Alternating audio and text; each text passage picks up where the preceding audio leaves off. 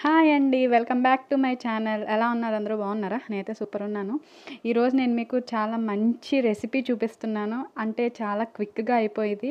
Instant cauliflower పచ్చడి చూపిస్తున్నాను. అది కూడా మా అమ్మమ్మ స్టైల్లో. అంటే మామూలుగా ఇది ఫ్రిడ్జ్లో పెట్టుకుంటే అయితే ఒక ఫైవ్ డేస్ ఒక సెవెన్ డేస్ ఉంటుంది. నార్మల్ బయటే మనం పెట్టుకున్నట్టయితే ఒక త్రీ డేస్ వరకు ఉంటుంది. సో దీనికి స్టార్టింగ్ మనం క్యాలీఫ్లవర్ పీసెస్ చిన్న చిన్న పీసెస్కి కట్ చేసుకొని దాన్ని హాట్ వాటర్లో వేసుకొని బాయిల్ చేసుకోండి. ఎందుకంటే క్యాలీఫ్లవర్లో ఏమన్నా కొంచెం పురుగులు అవి ఉంటాయి కదా సో హాట్ వాటర్లో వేయడం వల్ల అవన్నీ చచ్చిపోతాయి అనమాట అండ్ క్లీన్గా కూడా అయిపోతుంది. అవన్నీ అయిపోయిన ఆ హాట్ వాటర్లో వేసిన తర్వాత కొంచెం క్యాలీఫ్లవర్ని ముక్కల్ని తుడిచి ఒక బౌల్లోకి తీసుకోండి. అందులో కొంచెం ఒక two tablespoons of salt and తగి నేను తగినంత కారం.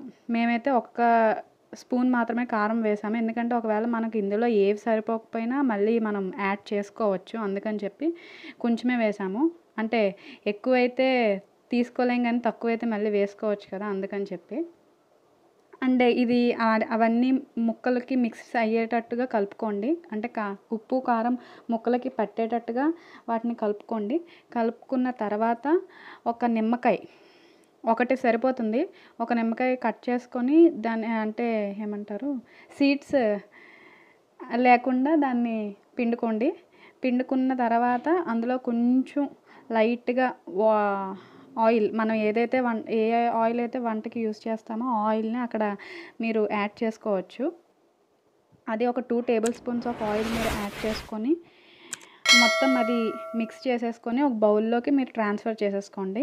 ఇది మీకు ఈజీగా అంటే వంట వితౌట్ గ్యాస్ అసలు మనకు గ్యాస్ వెలిగించాల్సిన అవసరమే లేదు.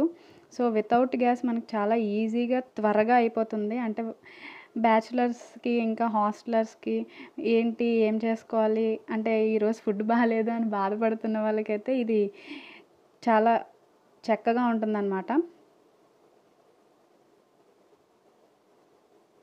అండ్ ఇది కలుపుకున్నాక ఒక టూ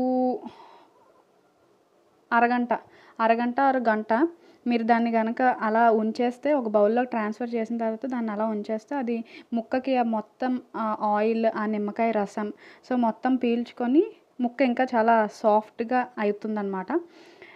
అండ్ మనం నిమ్మకాయ వేసాం కదా సో కారం పులుపు అవన్నీ టచ్ అవుతూ అసలు సూపర్ అంటే సూపర్గా ఉంటుంది. మీరు వేడి అన్నంలో కానీ కొంచెం నెయ్యి కానీ నూనె కానీ వేసుకొని దీన్ని కానీ టేస్ట్ చేస్తే ఇంకా అస్సలు మర్చిపోరు. మళ్ళీ మళ్ళీ ఇదే కావాలని అంటారు. సో ఒక్కసారి మీరు టేస్ట్ చేసి ట్రై చేసి ఎలా ఉందో నాకు కింద కామెంట్ బాక్స్లో కమెంట్ చేయండి.